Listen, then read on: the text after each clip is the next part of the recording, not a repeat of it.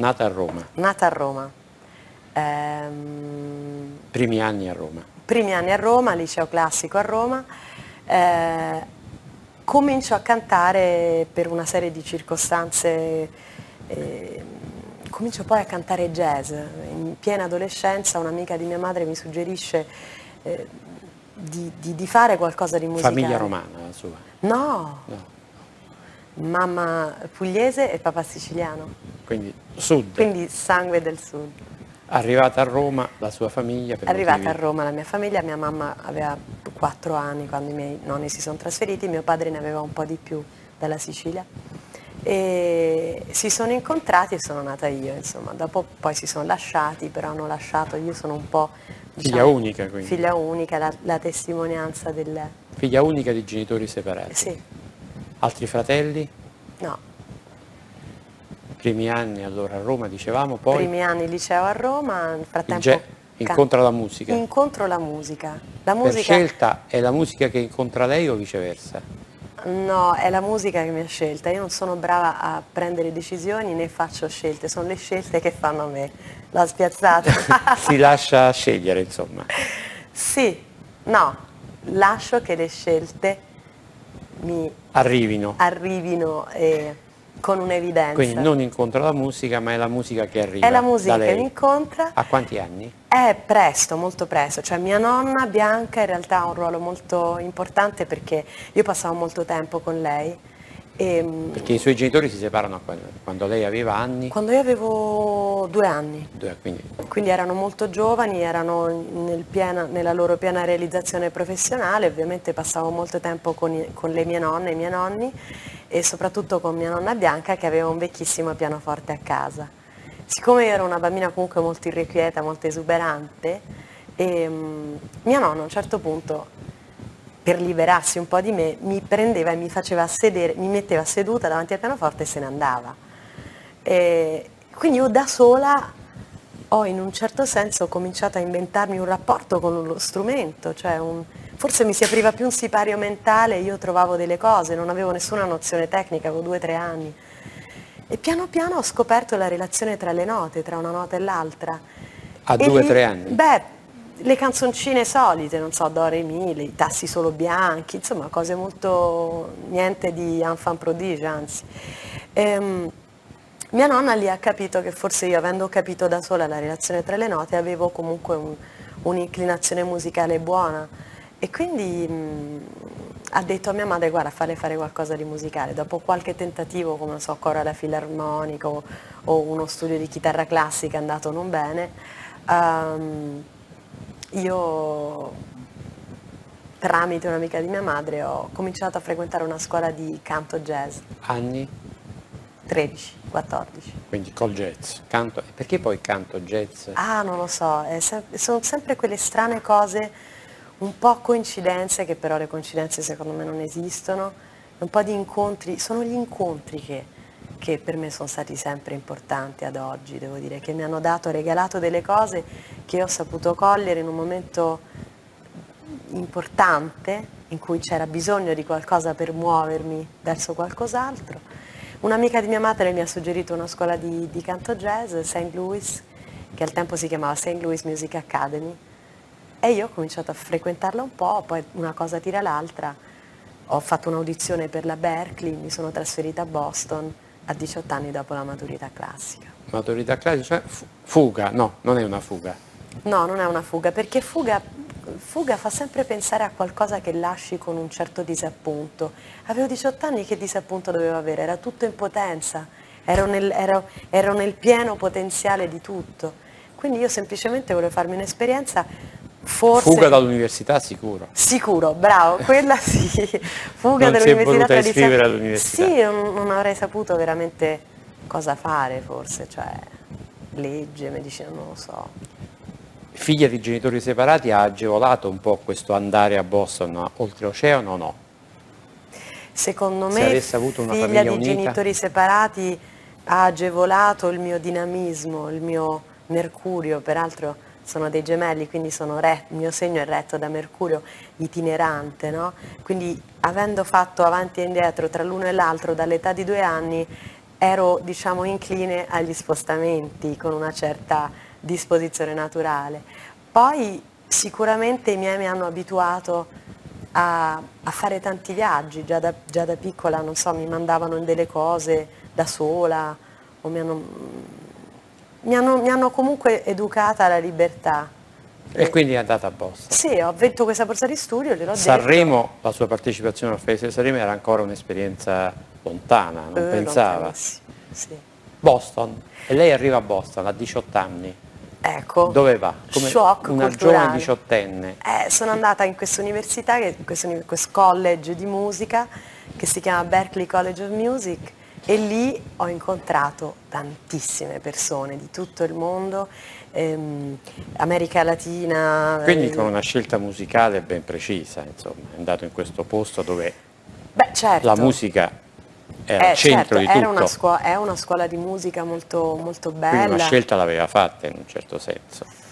Volevo raccogliere l'evidenza di questa mia inclinazione, diciamo, rispetto al, al poter cimentarmi con il canto di un certo tipo, volevo, volevo imparare tante cose, volevo andare nel paese dove poi si faceva la musica che io avevo in, in un certo senso scelto, il jazz. Boston.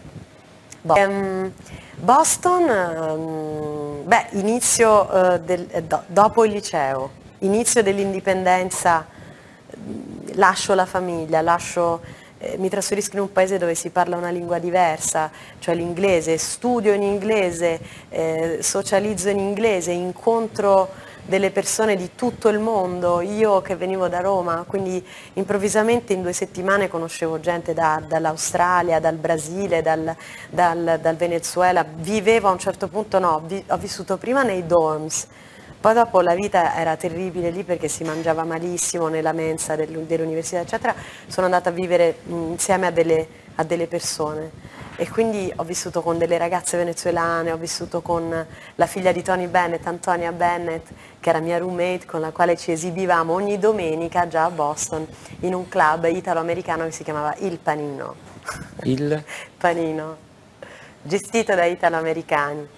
Una, una, una scena un po' alla Sopranos, diciamo. Poi? E poi quindi cosa succede? Comincio a studiare, a frequentare questa scuola, a incontrare tantissima gente e nello stesso tempo comincio a cantare dal vivo, in tutti i locali possibili e immaginabili. So, Sempre jazz di sottofondo o no? Sempre erano jazz standards all'epoca, a volte di sottofondo e poi la sfida era quella di, ok, partiamo sottovoce, partiamo come musica di sottofondo e poi piano piano si distoglievano gli sguardi dai piatti o dai bicchieri e ci cominciavano a guardare e ci cominciavano ad ascoltare. A New York abbiamo raggiunto il top perché... Perché poi da Boston si trasferisce sì, a New York. poi mi sono trasferita a New York, un passo abbastanza tipico. E a un certo punto però a Boston ho messo su un gruppo mio, il mio primo trio, con cui mi esibivo non più come prima in, in, qualsiasi posto, ma in dei club. Da lì abbiamo cominciato ad, ad avere un sacco di, di, di, affluenza di pubblico e quindi è arrivato il momento per cui era fondamentale Con muoversi. canzoni italiane no? No, però... Canzoni italiane per gli italoamericani sì o no? No, neanche. Era sempre jazz e poi a un certo punto io ho scritto una canzone in italiano che si intitola Parole incerte ed è questa canzone che mi ha cambiato veramente la vita. Come mai? Perché è stato... Intanto perché l'ha scritta? L'ho scritta perché, perché, ho raccolto un impulso dentro di me di scrivere mm. e liberamente. Quindi è la sua prima volta come scrittura in esatto. un certo senso. E questa canzone però coincideva col momento in cui c'erano questi locali molto pieni a Boston do, dopo le nostre performance e, e, ho deciso di andare a New York e tentare, estendere gli stimoli, quindi anche le sfide un po'. In ogni caso papà, mamma praticamente lasciati in Italia. No, papà e mamma li sentivo, tornavo in Italia. Sì, ovviamente. però aveva in un certo senso tagliato le proprie radici o no in un certo senso? No, radici non le ho mai tagliate, però ero veramente dedita al, al raggiungimento del, della mia realizzazione creativa, personale. Insomma. New York. New York. Parole incerte. Parole incerte. Quali Incontro, sono le parole incerte? Eh, quelle che... Le parole incerte sono delle parole che non siamo sicuri mai Per di poter spiegare. Per esempio, non lo so, appunto, sono incerte. Non ci sono parole incerte adesso, in questo momento, perché sto seguendo un treno di No, pensiero. allora c'erano. Allora che- certo, E c'erano. quali erano le parole incerte di allora? Eh, adesso devo ripensare al testo. Le parole incerte da allora erano sempre questo, Futuro, per esempio. il gestire le distanze, per esempio, legate alla gestione delle distanze, quindi i contatti. Quando tu non vedi una persona e la senti solo per telefono, ci sono tantissime parole incerte nell'aria che spesso rivelano intenzioni che non sono esattamente quelle sentimentalmente più mm, pensate, capisci? Cioè, è- è, mm, le parole incerte che rivelano intenzioni che non hai, questo era un pezzo della, della della canzone. E New York, incontro alle prove di Paul Simon un produttore, Russ Titelman, che è un produttore che ha prodotto Paul Simon, Chaka Khan, James Taylor e molti altri artisti. A lui, lui mi ha chiesto una demo, un- una serie di provini di canzoni e io gli ho mostrato questa demo che avevo che conteneva parole incerte. Ecco Dopo- perché parole incerte è la svolta. esatto Allora? perché dopo parole incerte e dopo questo questo incontro lui ha ascoltato la demo, mi ha chiamato e mi ha detto voglio lavorare insieme, voglio aiutarti a produrre il primo disco e, dopo, e da lì è nato un'altra cosa. E non è nata una storia d'amore, No, no, storia professionale. professionale, grandissimo. Russ Titelman per me è stata una persona, proprio come diceva Vinicius G. Moraes, no? la vita è l'arte dell'incontro. La mia vita ha avuto veramente, nella mia vita ho avuto il regalo di incontrare un sacco di gente che mi ha veramente mostrato delle strade. Russ è quello che mi ha detto, ho sentito parole incerte, devi scrivere. Basta interpretare, ne sai abbastanza, adesso scriviti e interpretati.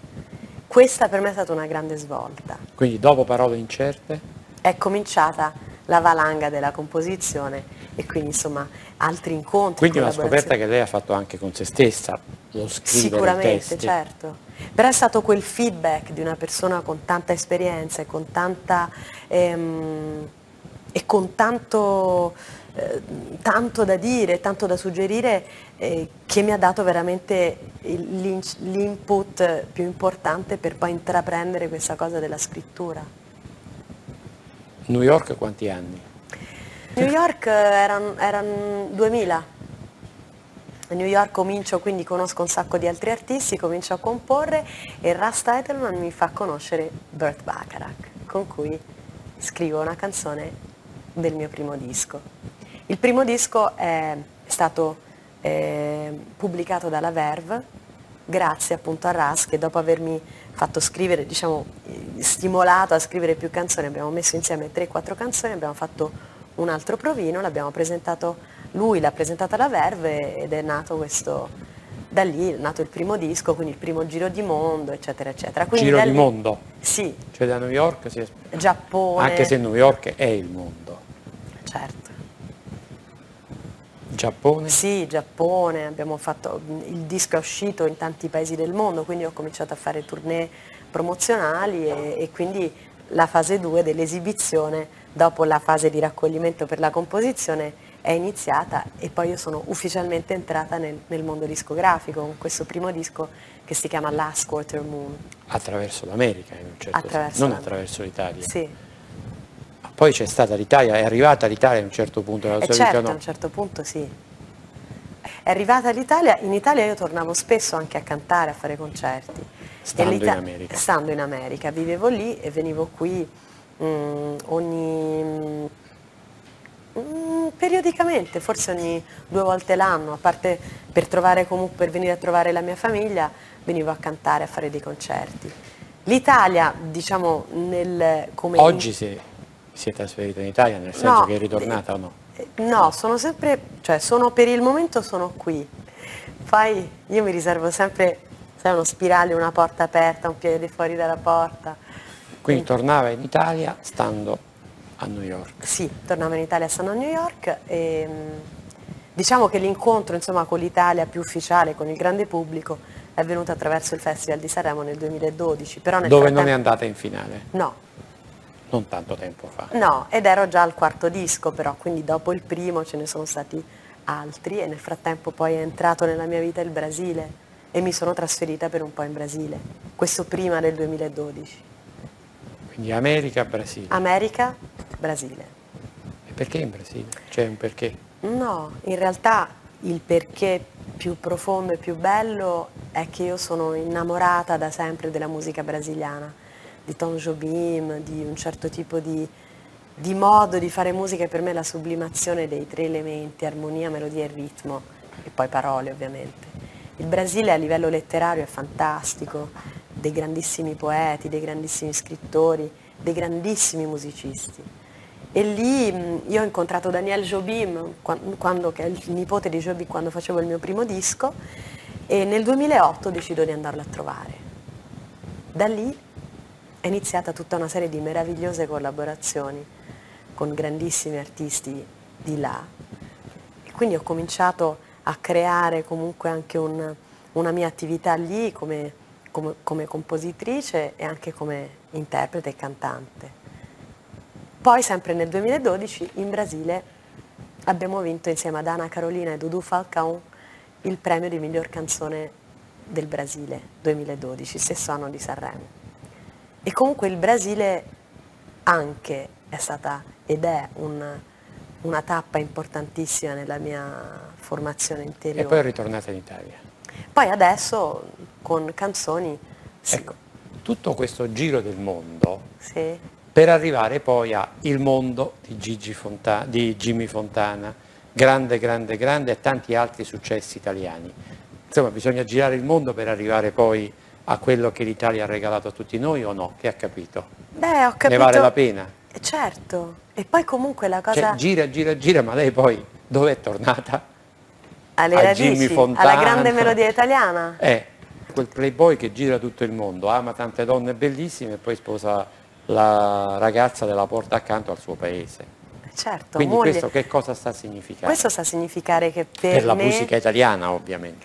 Sì, per me eh, la cosa bella, io mi sono cimentata anche con tanti repertori, ho assorbito tanti suoni, non propriamente italiani, si parla di jazz, di soul, di bossa nova.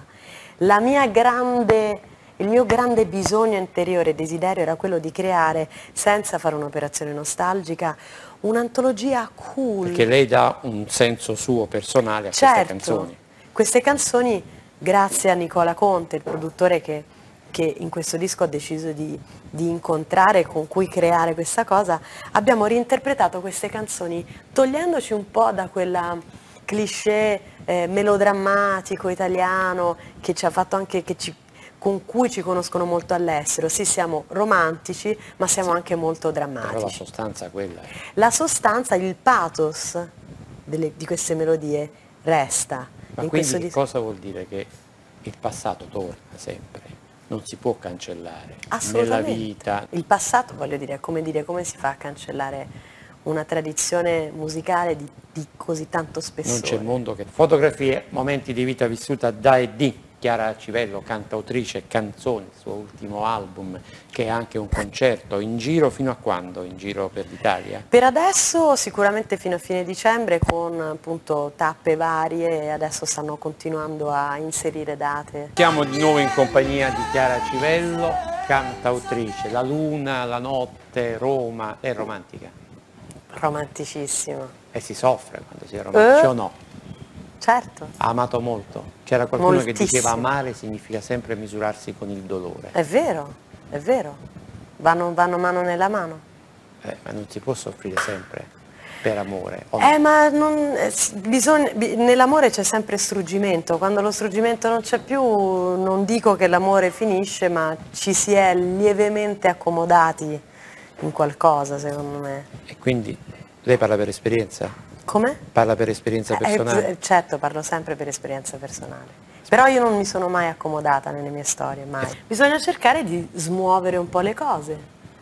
E comunque Rilke è il più saggio di tutti perché diceva che per il successo di, un'unione stabile, diciamo di un matrimonio, bisogna cercare di ripetere all'infinito la dinamica di separazione e ritorno.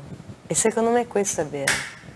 Cioè elargire degli spazi, delle distanze, per poi ritrovare il desiderio dell'altro, il bisogno dell'altro. Secondo me è una cosa molto Sei esperta in questa materia? Sì, espertissima. È sposata? No. È innamorata? Della vita sì. No, di un E uomo? no, di un uomo in questo momento no. Non è mamma? No, ancora no. Peccato o no? Peccato non è mai troppo tardi, ci sto pensando. È un pensiero che ogni tanto ricorre. Vediamo alcune foto che la riguardano. Chiara, momenti della sua vita, ricordiamoli, commentiamoli proprio insieme a Chiara Civello, ospite questa notte. Prima foto, eccola. Ah, ecco, questa qui è una festa mascherata, io sono la seconda da sinistra. Io ho fatto questa festa, cioè la mia mamma eh, ha organizzato questa festa di carnevale ed io mi sono rifiutata di mascherarmi, quindi io sono l'unica non mascherata in questa festa. Oggi i suoi genitori? Sanno benissimo. A Roma. A Roma, sì. Questa sono io a un compleanno e sulla sinistra vedete la mia nonna Bianca che è la famosa nonna che mi faceva sedere davanti al pianoforte, che è ancora viva, sta benissimo. I suoi genitori con la musica c'entrano o no? La No. sua famiglia? No, la mia nonna, mia nonna sì, Bianca, lei, c'entra nel senso che lei studiava il pianoforte e adorava il pianoforte e sua mamma addirittura suonava l'arpa e affaceva, credo facesse anche dei concerti, per dei loro motivi, ovviamente anche legati a ai momenti che l'Italia stava vivendo in quel momento, sono state stroncate entrambe nel loro sogno di poter realizzare la, la musica nella loro vita. Però, quindi credo di aver un po' ereditato io questa cosa. Altre foto, vediamo. Ah, io con papà in Sicilia, lui sul surf e io dietro con la ciambellina. Questa è la mia mamma, in queste foto scattate da Russ Teiteman, il produttore, Ancora a. New York. Questo è Chico Buarche, nel duetto di Io che amo solo te, un duetto in questo disco. Alla fine era un momento di tale emozione che ci siamo dati questo bellissimo abbraccio memorabile, veramente. Con Burt Bacharach eh, nella sua casa di Santa Monica. Ecco, io e Rusk, io ero al primo disco e Russ Teitelman accanto a me che ascoltava con grande concentrazione qualcosa. Ecco Nicola Conte, io e Nicola nel momento in cui registravamo il mio ultimo disco, Canzoni. E questo è un altro dei duetti del disco che è con Gilberto Gil, eh, Io che non vivo senza te. Questo è uno dei momenti in cui per esempio a- su- sulla destra c'è Daniel Jobim, uno dei miei più cari amici, che è stato quello che mi ha presentato tantissimi altri artisti. Accanto a Daniel Jobim c'è Preta Gil, che è la figlia di Gilberto Gil con cui ho collaborato, e alla mia destra, cioè la prima a sinistra, è Anna Carolina, un'artista fantastica con cui ho collaborato molto, una cara amica. Chiara, la bellezza è sempre verità o no? Non lo so. Dipende da quanto uno la altera. Cioè, Più naturale è, più, più bella è. La canzone che ha scelto e perché l'ha scelta, se c'è un motivo legato alla scelta. Io nella mia mutevolezza, che ovviamente cambio, cambio canzone preferita ogni giorno, poi essendo il mio lavoro comunque non è facile potersi, poter fare una dichiarazione della mia canzone preferita. Una canzone che amo moltissimo è The Look of Love di Burt Bacharach. C'è un motivo? Ammirazione, pura, grande ammirazione per lui, il genio Perché? che è. Amare è capire o no? Non lo so. Amare è non capire. Giovanna Pizzarri.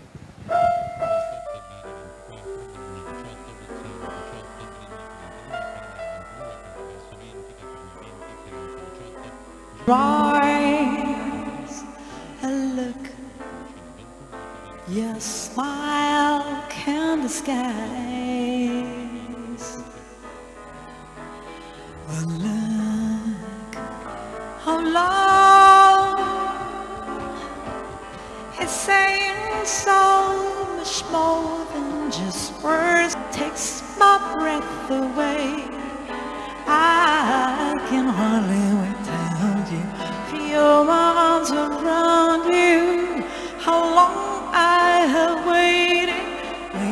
To love you. Now that I have found you, you've got the look, a look that time can't erase. Be mine tonight. Let this be just the start of so many night like this. Let's take a lover's vow and then seal it with a kiss. I can hold you without you. Feel my arms around you.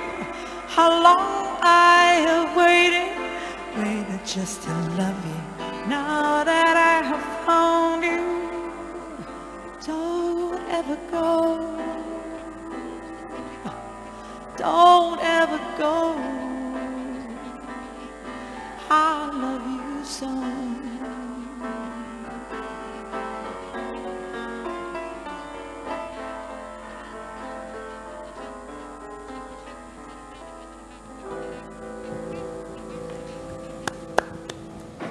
Dove è andata con la testa? Eh? Dove è andata con la Ovunque. testa? Come ovunque.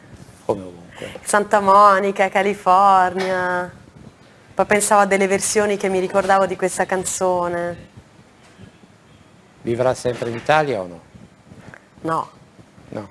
vivrò, vivrò sempre in questo... eh, non lo so, io non amo le definizioni dove vivrà da adesso in poi, dove mi porterà il mio cuore, la mia musica.